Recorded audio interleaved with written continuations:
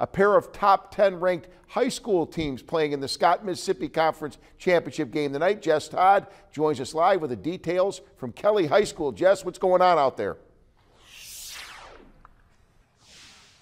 Well, Todd Oran is the Scott Miss Conference Tournament champs. A big reason why. Colton Payne over here threw a complete game, 2 nothing shutout. Colton, what was working for you on the mound today?